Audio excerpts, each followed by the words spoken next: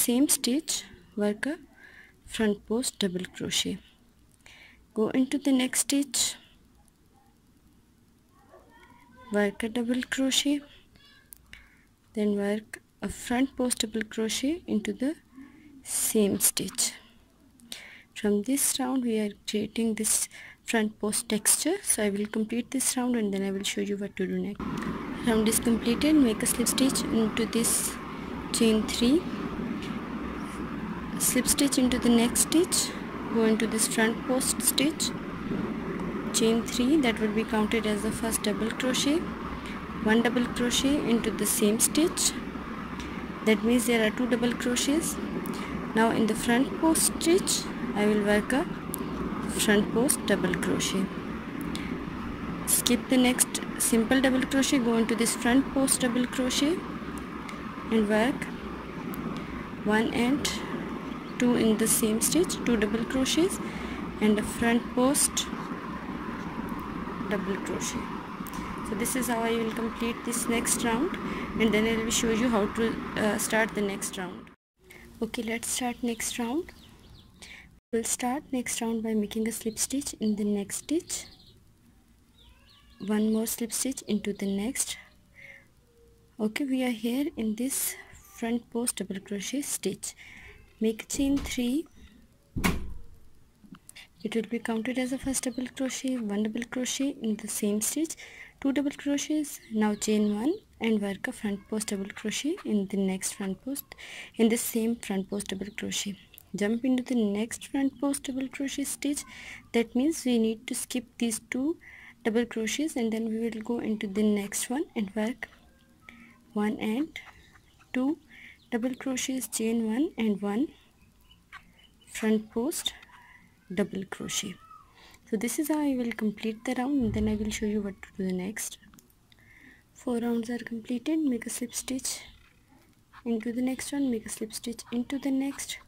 Chain 3 chain 3 would be counted as the first double crochet. Two more double crochets in the same stitch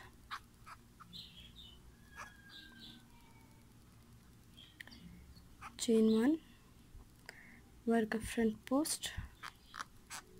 Double crochet. Jump into this next front post double crochet. Work one two and three double crochets. Chain one. And a front post double crochet. I will repeat it till this stitch. Then I will show you how to start the next round. I hope that you can understand uh, that how slowly and gradually we are increasing this.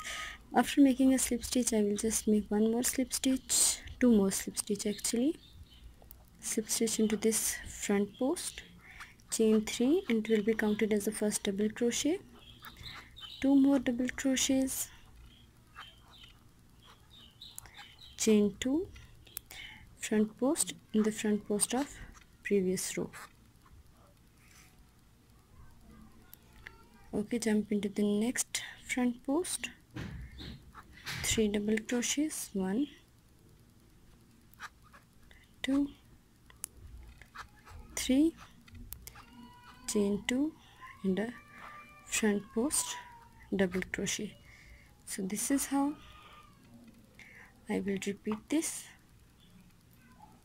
Okay as you can see these front post lines and this curve I hope you are liking it.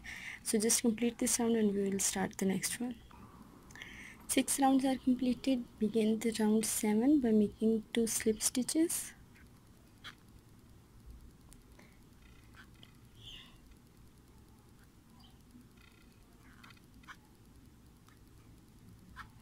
Okay go into this front post. Make chain 3 1 2 and 3 work 3 more double crochets into the same stitch.